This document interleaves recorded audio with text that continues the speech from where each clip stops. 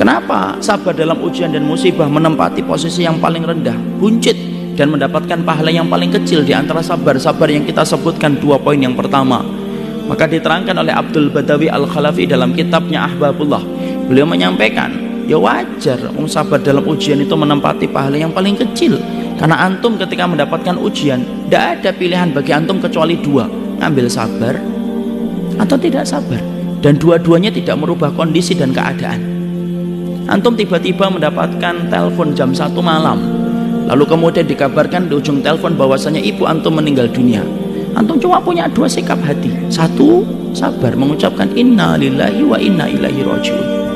Dan itu pun ibu antum tetap meninggal dunia walaupun antum sabar.